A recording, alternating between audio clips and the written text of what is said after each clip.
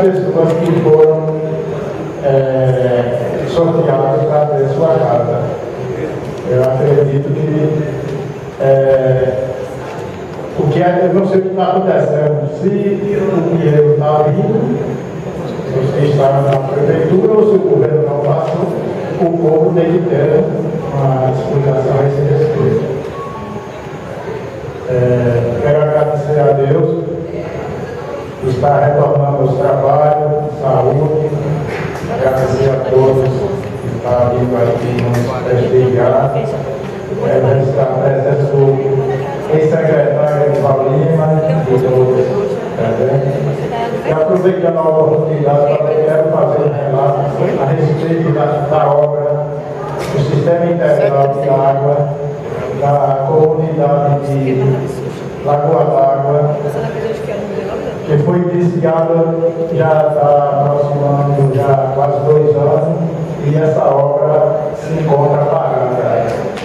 É, onde é uma obra de grande valor que vai abastecer comunidades vizinhas como bem Cama, é,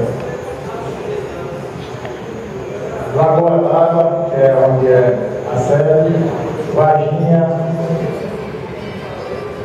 é, Rocinha, quilômetro 8, Buqueirão, Aldeia 2, e eu vejo as pessoas carregando água em lata, em, em carroças, é uma grande dificuldade. Então eu faço um pedido ao prefeito, gestor do município, junto com o secretário de obra, que vá até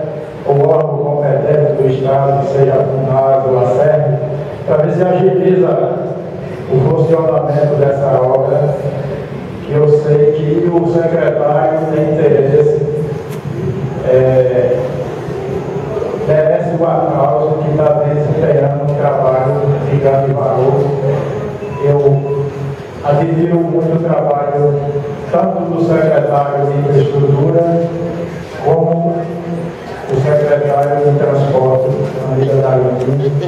Diferente de eu seja partidos diferentes, mas nunca eu um carro, uma coisa, para não ser servido. Então, tiro meu chapéu, e o chapéu para esses dois secretários. Posso acrescentar um minuto? Falando, peço desculpa, mas é sobre o assunto que Vossa Excelência tempo de falar. Eu queria também aproveitar, Vossa Excelência também fala uma coisa muito importante. A gente naquela região sabe da dificuldade do povo. E queria aqui também público agradecer a Eliseu, que está aqui presente, que eu sempre tenho ligado para ele, pedindo água para o pessoal. E a gente vê o clima também descendo, não só para aquela região, como para outros também. A gente sabe da dificuldade que eles têm com o povo indo e a necessidade tão grande do povo. Meu Deus, todos os vereadores que estão aqui presentes, eu sou isso, peço desculpa. Não tem nada contra mim, doutor. Estou bem com todo o secretário, mas sempre eu tenho é, uma coisa mais a falar desses dois. Só para ajudar Vossa Excelência, o assunto, eu liguei para a Serra recentemente, inclusive tem alguns moradores da comunidade presentes, coloquei o viva voz.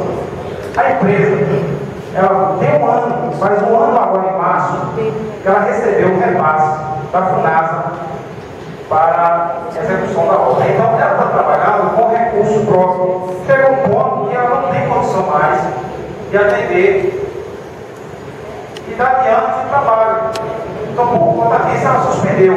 Agora, depois do do carnaval, eu fiquei com o pessoal me desse uma posição a respeito disso, mas o problema que está acontecendo é que a FUNASA faz um ano no mês de março agora e não repassa dinheiro da empresa ganhou a distância que já deve ter finalizado a obra. Também quero fazer um relato a respeito do povo cidadão. Às vezes, não vou falar com certeza, mas a gente traz pessoas da zona rural para tirar documentos e às vezes chega num horário mais tarde um pouquinho e às vezes as pessoas voltam sem tirar o documento e o que eles dizem é que só é atendido 15 pessoas diárias por dia, eu não tenho certeza, mas que alguém do, da, da administração pudesse. 18? É pouco. Alguém da administração pudesse rever essa situação para que pudesse. E às vezes as pessoas perdem dias, pessoas que trabalham e têm que retornar outra, outra dia. E boa noite a todos.